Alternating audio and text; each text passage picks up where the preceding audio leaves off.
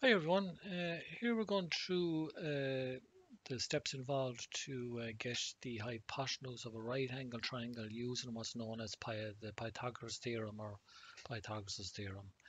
So uh, here's the theorem itself which is a squared plus b squared equals c squared and c always being the hypotenuse uh, side of the right angle triangle which is the longest side. So just bear that in mind. So here we're going to apply this formula now to an example we're going to use here. So in this case, we'll, we'll use the example, the shortest side on that right angle triangle will be 3 and the next uh, longest side will be 4.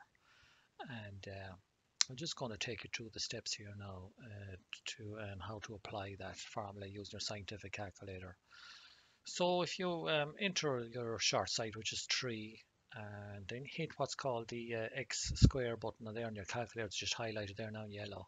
And that'll squared for in other words you're multiplying 3 by itself which of course we know is 9 and then hit the plus symbol and then again hit the X square button there on your calculator. And then don't forget to hit the equals um, here and you'll get 25. So obviously the hypotenuse can't be 25 of course because that'd be way too long. Common sense will tell you looking at the right angle triangle there's no way it's 25. So you what you'll now have to do is your the answer you've got you'll have to get the square root of that answer.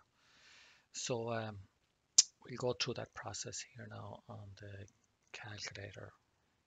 So um, again just uh, hit the square root symbol there highlighted in yellow, hit 25 hit the equal sign, and there's your answer 5.